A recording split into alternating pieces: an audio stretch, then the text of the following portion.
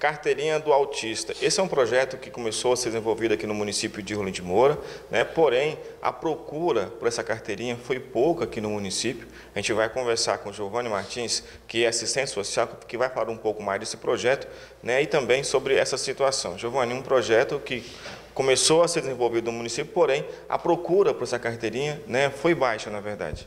Perfeito, Mário, bom dia, bom dia aos telespectadores. Então, nós esperávamos uma adesão maior uma vez que a carteirinha do autista, né, ela já está sendo confeccionada no município de Rolim de Moura.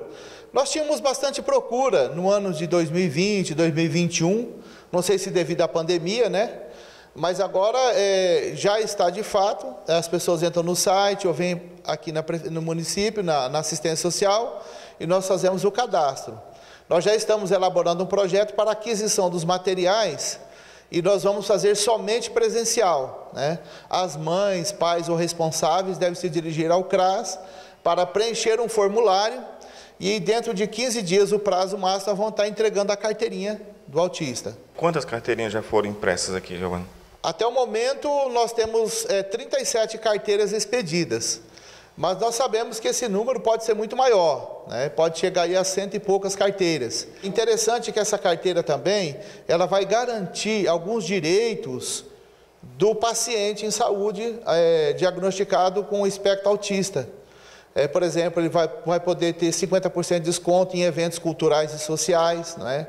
vai poder ter direito ao atendimento especial, Coisas que talvez hoje, ele ainda não, não sendo diagnosticado e não tendo uma identificação formal, ele não pode ter. Então é importante que você, familiar ou responsável, nos procure no CRAS. Essa carteira ela vale só aqui dentro do município ou qualquer lugar que a criança for, os pais forem?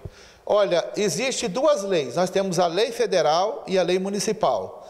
Nós estamos fazendo em Rolim de Moura de acordo com a lei municipal, mas o autista ele é federal. Isso aqui é uma lei federal. Em qualquer território nacional que ele chegar com essa carteira, indiferente de ser uma carteira expedida pelo município de Rolim de Moura ou qualquer outro município da federação, ele tem os mesmos direitos, tá? Inclusive nós temos na carteira, vai o símbolo universal da fita, né? Que é colocada a fita quebra-cabeça, que já é um símbolo nacional e mundial do autismo. Qualquer lugar do mundo hoje, com essa fita quebra-cabeça, ele é identificado como sendo uma pessoa portadora da, do transtorno do espectro autista, a TEA, como é abreviamente falado. Algumas pessoas só já na fase adulta, depois de casados e com filhos, é que vão descobrir que eram também autistas, porque eles eram leve, é um autismo leve, né?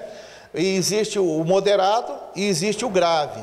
Eu já pude atender as três modalidades, fazendo inclusive laudo social recentemente, e eu vi como é sofrido, como é difícil para uma família que tem um autista, principalmente grave. Né? Ele é elétrico, o tempo inteiro ligado, é extremamente ansioso e é muito difícil lidar. Então, é, essa carteira, ela vai ajudar muitas famílias, quem sabe, a ter acesso a algumas políticas públicas e facilitar um pouco a vida delas. É importante que você compareça ao CRAS para que você receba maiores informações de como está o andamento do projeto e você possa estar adquirindo essa carteira para o seu filho. Primeiro passo fundamental, é necessário ter um laudo médico com CID. Aí depois você nos procure.